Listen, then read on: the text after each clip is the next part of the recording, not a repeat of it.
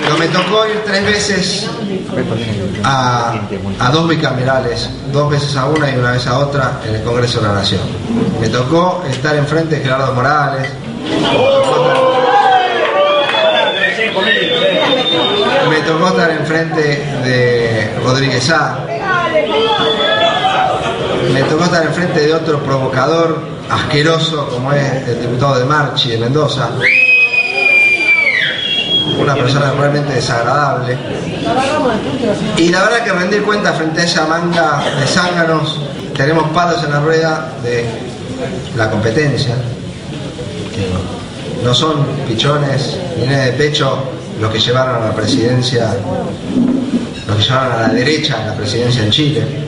No estamos compitiendo con la derecha pinochetista que instalada en Argentina. Recuperar y volver a tener lo que Argentina una vez tuvo hace muchísimos años, que es los vuelos internacionales de Aeroparque. Digo, esto es un hecho histórico para aerolíneas argentinas que se logró por la decisión política de la presidenta. Yo en realidad le fui a pedir algo que después voy a negar, que es que le eh, suprimieran rutas al que el Estado le negara la autorización para volar cierta ruta Me dice, y me parece que, es mucho.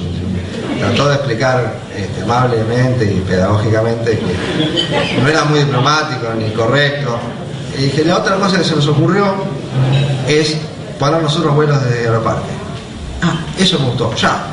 Hizo dos llamados y en una semana nos pusimos a trabajar para poder obtener, después de tres meses de trabajo, este, la autorización para volar desde Aeroparque. Porque la verdad es que uno, cuando asume estas cosas, lo hace desde un punto de vista militante.